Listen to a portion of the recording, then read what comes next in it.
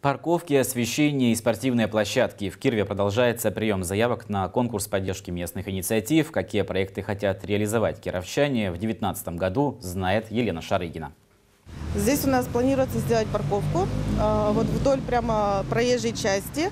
Необходимость обустройства автостоянки на улице Розы Люксембург назрела давно, рассказывает активист фонда «Дорогу и добра» Юлия Мошкина. Сюда со всего города приезжают дети с ограниченными возможностями здоровья на занятия, а их родителям негде оставлять машины. Кроме того, рядом школа и детский центр, поэтому без просторной парковки приходится тяжело, жалуется Юлия. Так как вот улица, она часто заставлена, то есть э, родители не могут подъехать и привести своего ребенка и полноценно, чтобы он спокойно либо принести на руках, либо как-то тихонечко дойти до входа.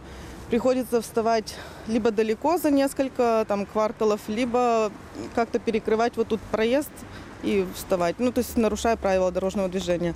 Трудностью на пути устройства парковочной зоны стало то, что земля муниципальная. Но в администрации разрешили сделать на ней машиноместа. Часть из них будет предназначена для инвалидов. Цена вопроса почти 1 миллион рублей. Часть денег активисты планируют получить благодаря проекту поддержки местных инициатив. 15% от суммы готовы собрать с помощью неравнодушных. И планируем еще там сделать колясочную для тех мамочек, у которых еще детки маленькие.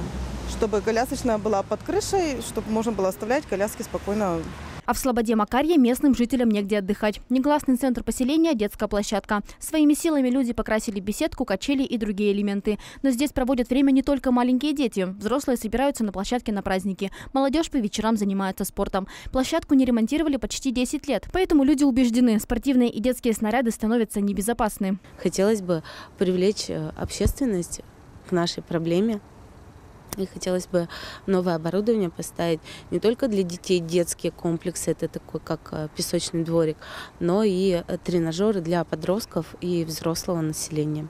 Ксения Хардина уверена, если жители объединятся, все получится. К тому же стоимость этой площадки сравнительно небольшая – 400 тысяч рублей. Ксения призналась, если участие в проекте поддержки местных инициатив будет успешным, на этом активные жители не остановятся. Как не остановились и активисты, которые занимаются обустройством парка Аполло. По проекту поддержки местных инициатив в парке Аполло несколько лет назад были заасфальтированы дорожки, а в этом году должна появиться спортивная площадка. Активисты решили принять участие в проекте еще раз. На этот раз они хотят сделать уличное освещение.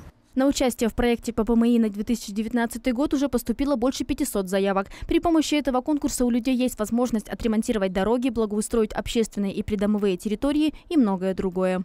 Елена Шарыгина, Денис Трушков, Бюро новостей Давича.